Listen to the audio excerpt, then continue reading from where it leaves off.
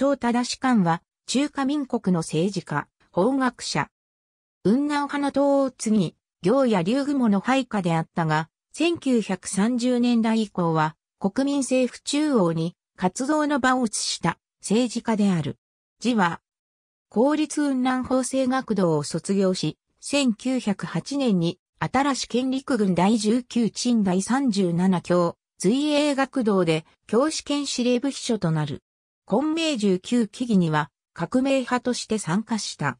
1912年に国民党に加入したものの、間もなく雲南派指導者の党次行配下となる。以後、雲南省行政公所総務課課長、黒塩育塩無特選総弁県事京県知事、下級県知事を歴任した。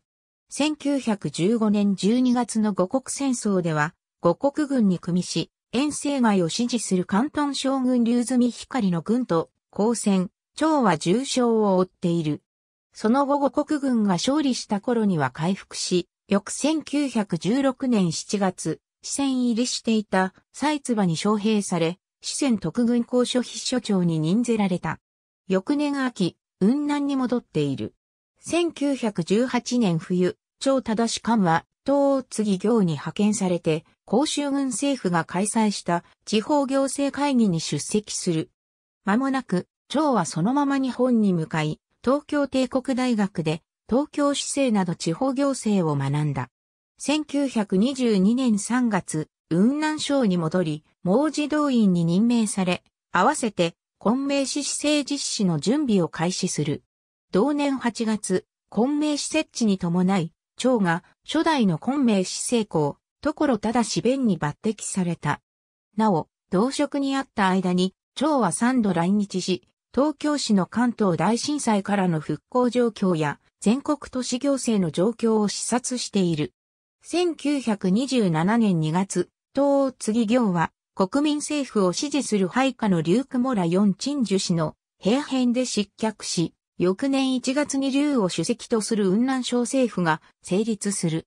張忠士官はそのまま劉に継続して起用され、小政府委員兼国民政府外交部特派、中雲南交渉員に任ぜられる。同年末に南京で開かれたベトナムをめぐる中仏条約改定会議に参加した。1929年12月、長は小政府民成長庁長に起用された。しかし、旧政権の幹部でありながら、劉に徴用された長は、ロカンダ雲南軍の軍人から剣をされている。翌1930年3月に、ロカンダ雲南軍四市長が、竜雲に対して平変を起こした際には、孫渡ると合わせて、超正し官が真っ先に、君側の官として、ロラの粛清の標的として掲げられる。間もなく平変が失敗に終わったため、長は民政庁長の地位を保った。しかし、長はこの事件を境に政務に制裁を書くようになり、結局、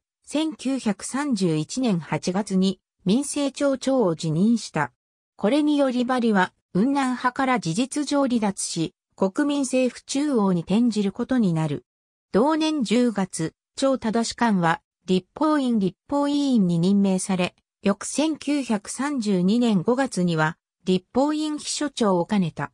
1939年6月、前月に内政部長に抜擢された雲南派元老、周小学により、張忠士官は内政部政務次長に起用されている。1944年11月に部長が超励む生となっても、超正官はそのまま政務次長に留任した。1946年1月、超正官は監察院運気監察区監察士に移動する。翌年には、雪乗り国民大会代表にも選出された。